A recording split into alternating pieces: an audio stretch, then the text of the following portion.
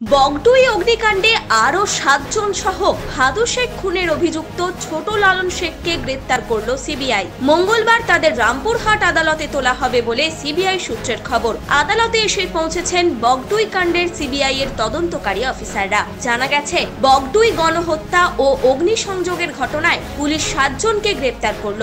ধৃতদের মধ্যে চারজন বাবা ও ছেলে রয়েছে। অন্যদিকে ভাদু শেখ খুনের ছোট লালন শেখকে গ্রেপ্তার করেছে সিবিআই।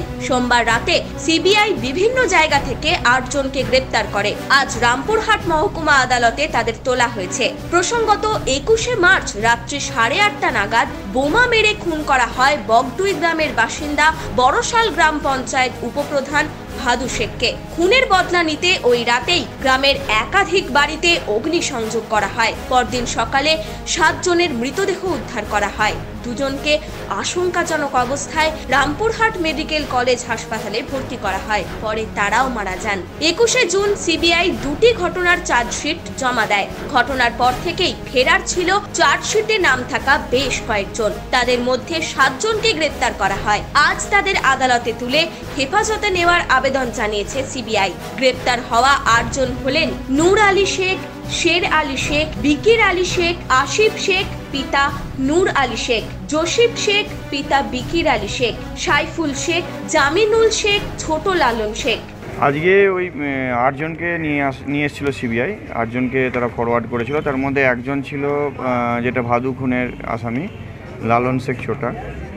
আর বাকি সাতজন ছিল অন্য পোড়া কেসের আসামি।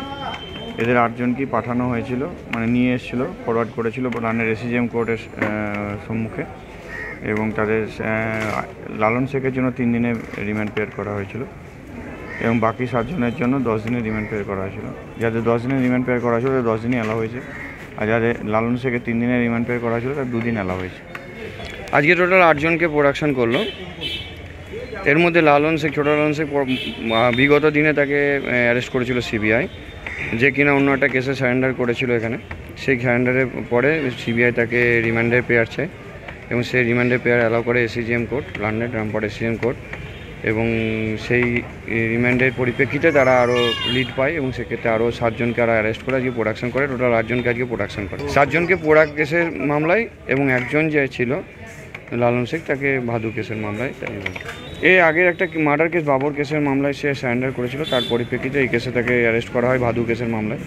আজকে তাকে রিমান্ডের প্রোডাকশন করা হয়েছে এবং তাকে আবার পুনরায় হয়তো রিমান্ড চাই হতে পারে বলে শোনা যাচ্ছে। নিউজ আজ বাংলা বীরভূম। কংক্রিটের জঙ্গলে হাঁপিয়ে উঠেছেন। কাজের জগতে ডুবে থেকে শরীর মন ক্লান্ত। নীল নির্জনে খুঁজে নিন নিজেকে। ক্ষণিকের জন্য হারিয়ে যান সুনীল জলরাশিতে, শহরের ধুলো ধোঁয়া থেকে বহু দূরে, এক নতুন ভুবনের স্বাদ। Arambagh hotel and resort private limited.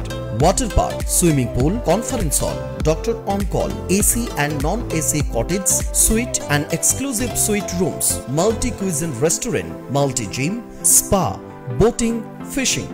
Arambagh hotel and resort private limited, Arambagh, Hooghly.